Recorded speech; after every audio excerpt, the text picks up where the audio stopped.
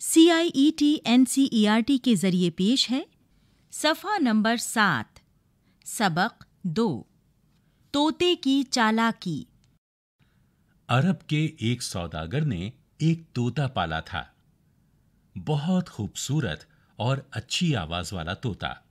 सौदागर परिंदों की बोली जानता था और तोते से मीठी मीठी बातें किया करता था।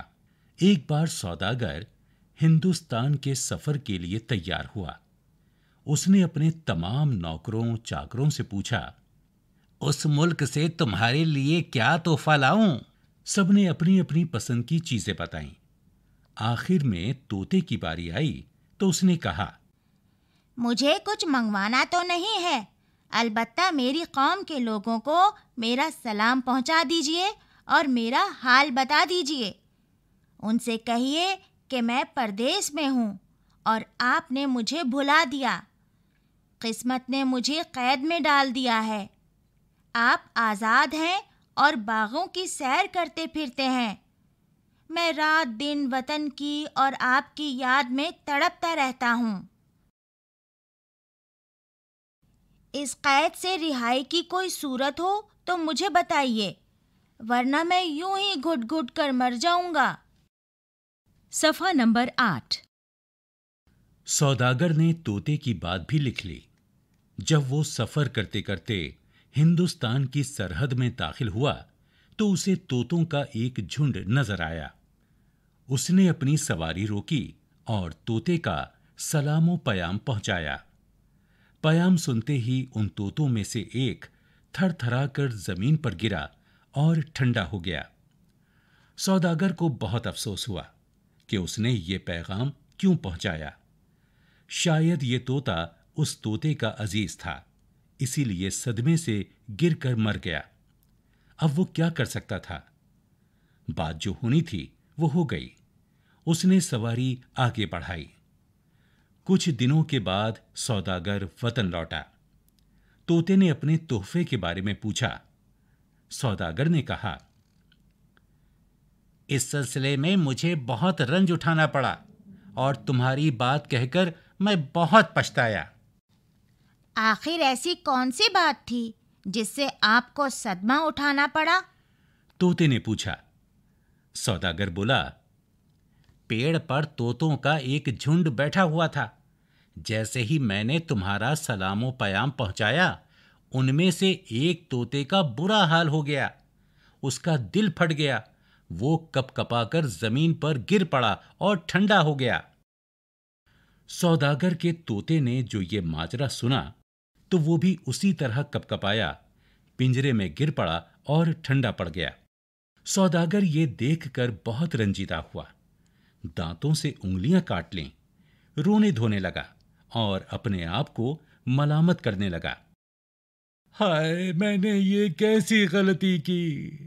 अगर मैं ये बात ना कहता तो क्या हर्ज हो जाता? सौदागर ने रो धोकर तोते को उठाया और पिंजरे से बाहर फेंक दिया। तोता ज़मीन पर गिरते ही उड़ा और एक पेड़ की टहनी पर जा बैठा। सौदागर ने हैरान होकर पूछा, हैं? ये क्या माजरा है?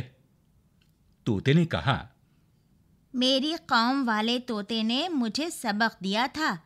कि तू अपने मीठे मीठे बोल और प्यारी प्यारी बातें छोड़ दे। अपने को मुर्दा बना दे फिर तू आज़ाद हो जाएगा। तोते ने ये कहा और उड़कर अपने वतन हिंदुस्तान रवाना हो गया। सफ़ा नंबर नौ। एक लफ्ज और मानी। सौदागर। तिजारत करने वाला। खूबसूरत। अच्छी शक्ल वाला। परदेस। वो मुल्क जो अपना वतन ना हो। रिहाई। आज़ादी। अज़ीज़। रिश्तेदार। ठंडा होना। मर जाना। रंज उठाना। सदमा बर्दाश्त करना। माजरा। वारदात। सदमा उठाना। गम उठाना। दिल फटना। बहुत अफसोस करना। रंजीदा। गमगीन। घुट घुट कर मर जाना। तकलीफ़ उठा उठा कर मरना। दो। गौर कीजिए। तोते ने तोहफे के बदले में दोस्तों को सलाम और पयाम इसीलिए भेजा था कि उसे ये मालूम हो सके कि रिहाई कैसे हासिल की जा सकती है। सफ़ा नंबर दस। तीन सोचिए बताइए और लिखिए। अलिफ सौदागर किस मुल्क के सफ़र पर निकला था? बे तोते ने अपने दोस्तों को क्या भिजवाया था? जीम सौदागर को किस बात पर अफसोस हुआ? दाल तोते की चालाकी क्या थी? चार खाली जगहों को दिए हुए सही लफ्जों से भरिए। रिहाई तोहफे बोली सूरत थरथराकर अज़ीज़। अलिफ सौदागर परिंदों की खाली जगह जानता था। बे इस कैद से खाली जगह की कोई खाली जगह हो तो मुझे बताइए। जीम पयाम सुनते ही उन तोतों में से एक खाली जगह ज़मीन पर गिरा और ठंडा हो गया। दाल शायद ये तोता उस तोते का खाली जगह था। हे तोते ने अपने खाली जगह के बारे में पूछा। पाँच दिए हुए लफ्जों से जुमले बनाइए। वतन ख्वाहिश सबक माजरा सदमा रंज। छ इन मुहावरों पर गौर कीजिए। अलिफ पानी में आग लगाना। बे अपना उल्लू सीधा करना। जीम आँसू पोछना। सफ़ा नंबर ग्यारह। ये सब मुहावरे हैं। मुहावरा आम बोल चाल में चंद ऐसे अल्फाज का मजमुआ होता है जिसमें अल्फाज अपने असल मानी के बजाय मुख्तलिफ़ मानी में इस्तेमाल होते हैं। दिए हुए मुहावरों को उस्ताद की मदद से समझिए। ठंडा होना दिल फटना दांतों से उंगलियाँ काटना। सात दिए हुए लफ्जों को सुनकर बताइए कि क्या इनका इमला सही है? अलिफ। अज़ीज़ या अज़ीज़ या अज़ीज़। बे। सौदागर या सौदागर या सौदागर। जीम। से से सदमा स्वाद से सदमा या सीन से सदमा। दाल। काफ सीन मीम ते किस्मत या काफ सीन मीम ते किस्मत या काफ स्वाद मीम ते किस्मत। हे, अलीफ मद जबर आ, ज्वाद अलीफ दाल। आज़ाद या अलीफ मद जबर आ, जाल अलीफ दाल। आज़ाद या अलीफ मद जबर आ जे अलीफ दाल आज़ाद। वाव गाफ लाम तोय छोटिए गलती। या गैन लाम तोय छोटिए गलती। या गैन लाम ते छोटिए गलती। आठ पढ़िए समझिए और लिखिए। अलिफ सौदागर ने तोता पाला था। बे उसे तोतों का एक झुंड नज़र आया। जीम उसका दिल फट गया। दाल दांतों से उंगलियाँ काट लीं।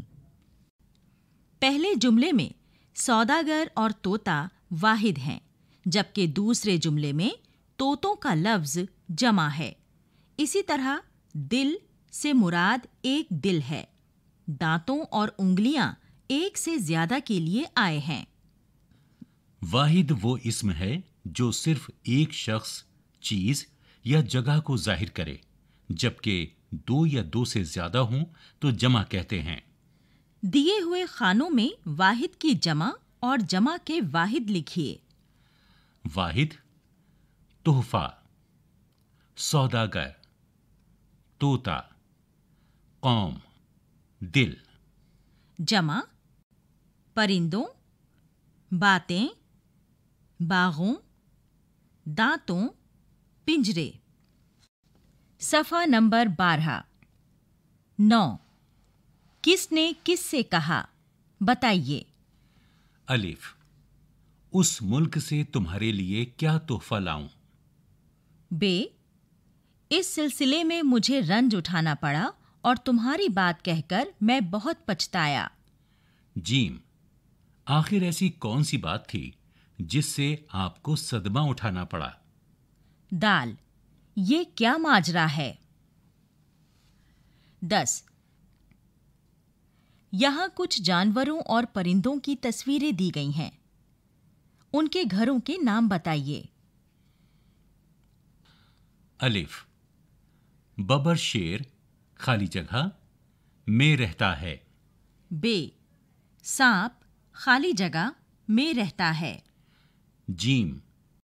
चिड़िया खाली जगह में रहती है। सफ़ा नंबर तेरह। दाल। मुर्गी खाली जगह में रहती है। हे। घोड़ा खाली जगह में रहता है। इसी के साथ ये सबक यहीं पर ख़त्म हुआ। अभी आप सुन रहे थे सबक दो। तोते की चालाकी। समय रिकॉर्डिस्ट बटीलैंग लिंगडो समय फनकार परवेज गौहर और शिमाइला परवेज एडिटिंग हिदायतकार और तख्लीककार विमलेश चौधरी पेश करदा C I E T N C E R T New Delhi Bharat